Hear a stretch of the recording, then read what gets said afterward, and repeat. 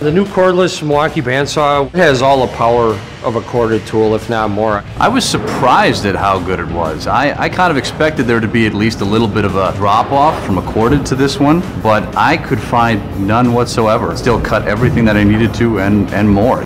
I can do so much with it, and I mean, it's built like a rock. It's a Milwaukee tool.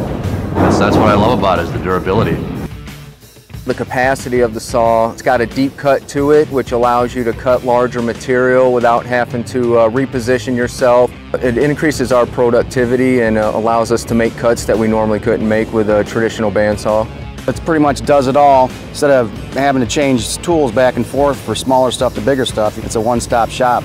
The new fuel saw has the battery life that I need to get through anything that I need to cut. Now you can do everything on the lift. It saves time. It cuts fast. Haven't run through a battery in one day yet. The, uh, around the blade itself, it's a little more encased and enclosed, so there's less exposure from the person using the saw to the blade.